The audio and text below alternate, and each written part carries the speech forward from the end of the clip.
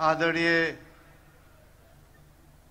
यस चौधौँ ऐतिहासिक महाधिवेशनका अध्यक्षज्यू पार्टीका सभापति देशको प्रधानमन्त्री आदरणीय शेरबहादुर देवबाजू मञ्चमा आसीन वरिष्ठ नेता आदरणीय रामचन्द्र पौडेलज्यू मञ्चमा आसीन नेपाली काङ्ग्रेसका पदाधिकारी तथा अन्य नेतागण केन्द्रीय सदस्य साथीहरू र यहाँ उपस्थित हुनुभएका सतहत्तरै जिल्लाबाट प्रतिनिधित्व गर्नुहुने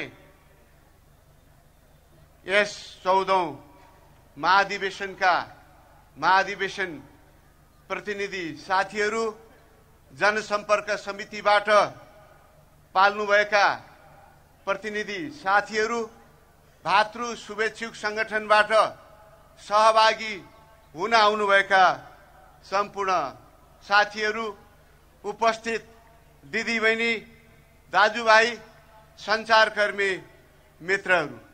मेरो यहाँहरू सम्पूर्णमा हार्दिक जय नेपाल यहाँहरू सबैलाई काठमाडौँमा स्वागत छ।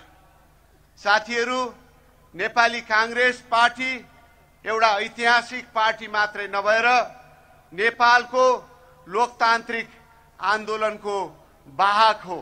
यसले धेरै उतार चढाव अप्ठ्यारा समयहरू प्रवासन जेल दुःख सुख सबै खाले कष्ट यो पार्टीले बेहोरेको छ। हजारौं यस पार्टीका कार्यकर्ता नेताहरू शहीद भएका छन्। हजारौं हजार नेपाली काङ्ग्रेसका साथीहरूले द्वन्द्वकालमा आफ्नो जीवन समाप्त पार्नुपर्ने अवस्थाबाट पनि यो पार्टी गुज्रेको छ।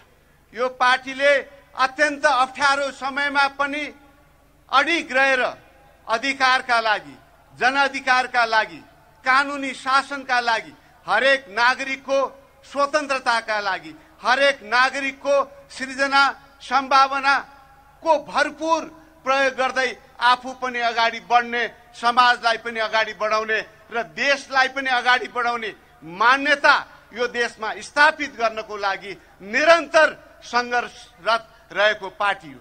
त्यसका बावजुद अझै पनि यो विचारलाई लोकतान्त्रिक मान्यतालाई लोकतान्त्रिक विचारलाई स्वतन्त्रताको मूल मान्यतालाई यो देशमा पूर्ण रूपमा हामीले आजको दिनसम्म पनि स्थापित गर्न सकेका छैनौँ। आजको दिनसम्म पनि लोकतान्त्रिक मूल्य र मान्यतालाई जीवनचर्या जीवन पद्धति बनाउन सकेका छैनौँ।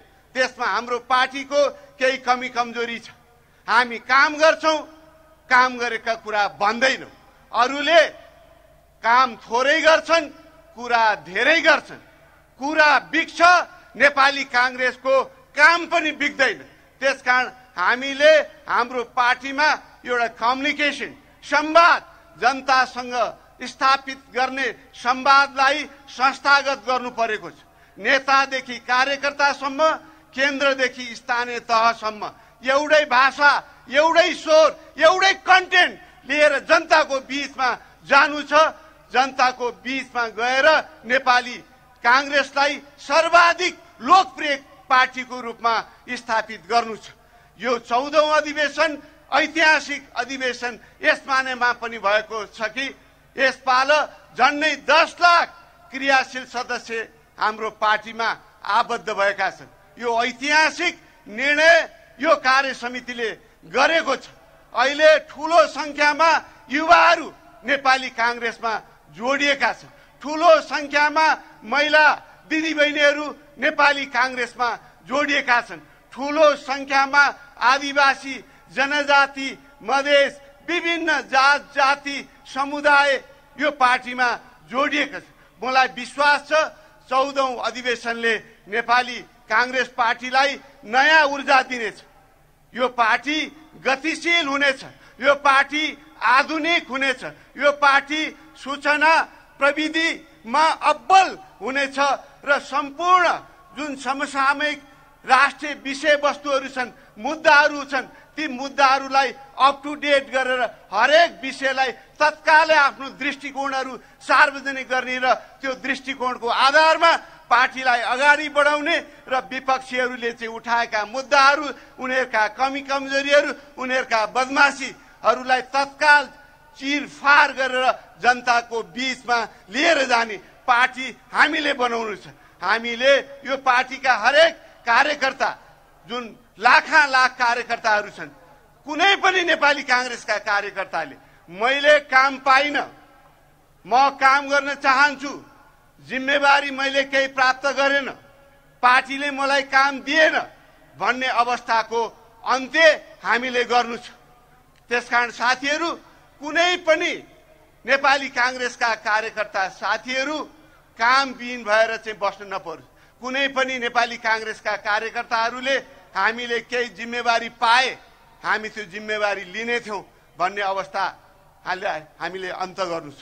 सँगसँगै हामी यो पार्टीमा प्रशिक्षण माथिदेखि तलसम्म एउटै प्रशिक्षण दिएर हाम्रा विचारहरूलाई चाहिँ जनताको बिचमा सम्प्रेषण गरेर लानु छ। हामीले मूल्याङ्कन पद्धतिलाई अप टु डेट गर्नु छ। एउटा पार्टीको जिल्लामा काम गरिरहेको साथीले नेताको अनुहारै नदेखिकन पनि मेरो मूल्याङ्कन हुन्छ। मैले त नेतालाई भेटेकै छैन। मैले त नेतासँग को घरमा पुगेकै छैन तै पनि मेरो मूल्याङ्कन भएछ र मैले जिम्मेवारी पाएछु भन्ने अनुभूति यो पार्टीमा हामीले दिलाउन सक्नु परेको छ। अहिले यो पार्टीको नेतृत्व शेरबहादुर देउवाले गर्नुभएको छ उहाँले यो पार्टीलाई एकताबद्ध बनाएर लानुभएको छ। यही एकताको बलमा आउने निर्वाचन हामीले जित्नु छ। यो हाम्रो आन्तरिक प्रतिस्पर्धा हो। हामी प्रतिस्पर्धा गरिराखेका छौँ। यो प्रतिस्पर्धा कसैले नै कसैले पार्टीको जिम्मेवारी लिनु पर्दछ भन्ने मान्यताका आधारमा गरिएको प्रतिस्पर्धा हो। तर यो प्रतिस्पर्धाबाट परिणाम आइसकेपछि हामीले त्यो प्रतिस्पर्धाबाट जुन हामी एकअर्काका विषयमा चर्चा परिचर्चा गर्छौँ त्यही समाप्त हुनुपर्दछ र हाम्रो अर्जुन दृष्टि आउने स्थानीय निर्वाचन प्रदेश निर्वाचन र केन्द्रीय निर्वाचनमा पार्टीलाई जिताउने एक्लै बहुमत ल्याउने र यो देशमा लोकतान्त्रिक मूल्य मान्यतालाई संस्थागत गर्ने र बिपी कोइरालाले जुन लोकतान्त्रिक समाजवादी विचार नेपालमा प्रवेश गराउनु भएको छ समृद्धि र समृद्धिको पहुँचमा आम जनता भन्ने मूल्य र मान्यतालाई हामीले स्थापित गर्नु छ। गौरवका साथ आत्मस्वाभिमानका साथ हाम्रो आवश्यकता र स्वार्थलाई केन्द्रबिन्दुमा राखेर हाम्रो परराष्ट्र नीति सञ्चालन गर्ने विदेशी सहयोगको नीति पनि त्यसकै आधारमा हामीले चाहिँ स्थापित गर्ने। त्यसरी हामी गयौँ भने स्वाभिमानी नेपाल खालि यो यो हिमाल भएर माउन्ट एभरेस्ट भएर या लुम्बिनी भएर या पशुपतिनाथ भएर मात्रै हामी चाहिँ गौरव गर्ने होइन कि समग्रमा हामी शिक्षित छौँ। हामी स्वस्थ छौँ हामी समृद्ध छौँ र हरेक नेपाली समृद्ध छ र स्वाभिमानी पूर्वक बाँच्ने सम्पूर्ण पूर्वाधार हामीले सृजना गरेका छौँ। भन्ने मान्यतालाई यो देशमा स्थापित गर्नु छ त्यो मान्यतालाई स्थापना गर्नको लागि अब नेपाली काङ्ग्रेस अग्रसर हुनुपर्छ। सम्पूर्ण पार्टी एक भएर लोकतान्त्रिक मूल्य र मान्यतालाई यो देशमा स्थापित गर्नु छ। अरू देशमा अरू कम्युनिस्ट विचारधाराहरू पराजित भइसके। त्यो विचारधाराहरू अन्तर्राष्ट्रिय जुन लोकतान्त्रिक जुन अभ्यासहरू भए राजनैतिक प्रणालीको अभ्यास भयो त्यो अभ्यासले तिरस्कृत गरिसक्यो। तर नेपालमा अझै पनि ती विचारहरू चाहिँ प्रोपोगण्डाका आधारमा प्रचारका आधारमा स्थापित छन्। ती स्थापित गलत मान्यताहरूलाई हामीले समाप्त पार्दै लोकतान्त्रिक मान्यतालाई जीवन पद्धति बनाउँछ। बनाउनु छ। यही कुरो यो महाधिवेशनले पूर्ति गर्न सक्यो भने सम्पूर्ण नेपालीहरूको साझा लोकतान्त्रिक पार्टीको रूपमा नेपाली काङ्ग्रेस पार्टीलाई स्थापित गर्न सक्यौँ भने त्यो यो महाधिवेशनको सफलता ठहरिने छ भन्ने मलाई लागेको छ। र हामीले टिमवर्क गरौँ। यो सम्पूर्ण निर्वाचन वडादेखि केन्द्रसम्म जुन निर्वाचन हुने पद्धति हामीले स्थापित गरेका छौँ। संसारभरि कुनै पनि पार्टीमा यस्तो खाले पद्धति छैन। कुनै पनि लोकतान्त्रिक पार्टीमा यस्तो पद्धति छैन। हामीले नयाँ परीक्षण गरिराखेका छौँ। यसलाई टिमवर्कको स्पिरिटमा हामीले लग्यौँ भने यो हाम्रो लागि अवसर होइन म पनि निर्वाचित त तिमी पनि निर्वाचित। म के कम त के कम भन्ने मान्यतालाई हामीले बोक्यौँ भने यो हाम्रो लागि चुनौतीपूर्ण हुनेछ। त्यसकारण टिमवर्क थप जिम्मेवारी हामीले चाहिँ प्राप्त गर्यौँ। यो जिम्मेवारीले लाई हामीले एउटा टिमवर्कको रूपमा लानुपर्छ भन्ने मान्यतालाई हामीले लिएर जान सक्यौँ भने मलाई लाग्छ यो जुन नयाँ परीक्षण हामीले गर्दैछौँ त्यो सफल हुन सक्दछ भन्ने मलाई लाग्दछ।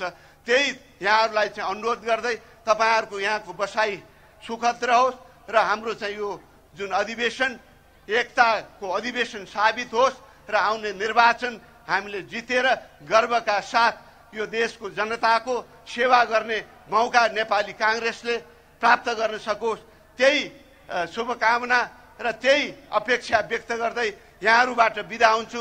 धन्यवाद जय नेपाल।